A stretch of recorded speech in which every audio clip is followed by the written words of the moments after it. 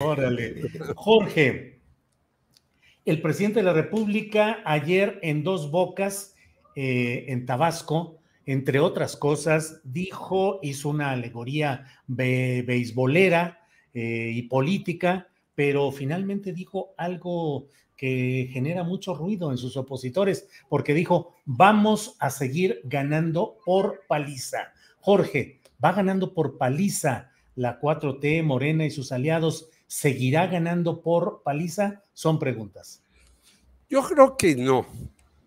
Que ganen, yo creo que sí. No veo, incluso leyendo a toda una serie de personajes el famosísimo Carlos Loret de Mola, insisten ellos, no hay candidato, no hay organización, el trío maléfico a veces se reúne, a veces se distancia en muchas cosas. El movimiento ciudadano no acaba de enrolarse en este asunto de Va por México. Y luego sale un video ahí del joven Luis Donaldo Colosio, bastante preocupante. Preocupante para mí porque yo lo respeto, es un joven, es una promesa política y que hable desde Nueva York para una reunión de cabildo y se le oiga trastabillar, pues está mal. Yo no podría acusarlo absolutamente de nada, sino simplemente digo, está mal.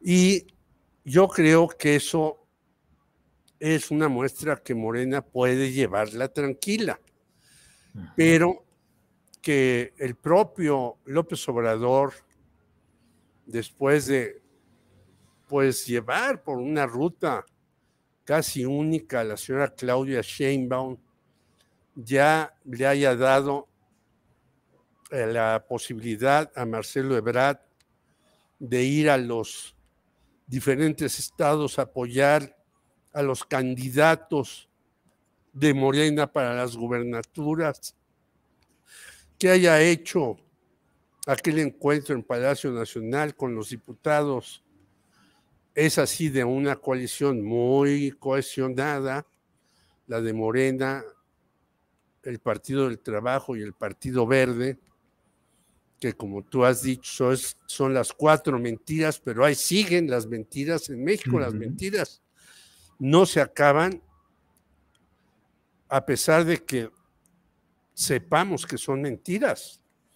Y una de ellas, por ejemplo, es la publicidad que vemos todos los días en las pantallas, que son mentiras al por mayor y la gente lo cree, compra productos y demás. Y las mentiras es el juego de los empresarios que leyendo, por ejemplo, un artículo de una joven muy talentosa, Viri Ríos, pues vemos que los precios se abultan enormemente, ella dice hasta 93% en los productos fundamentales para la población y se venden estos por la publicidad.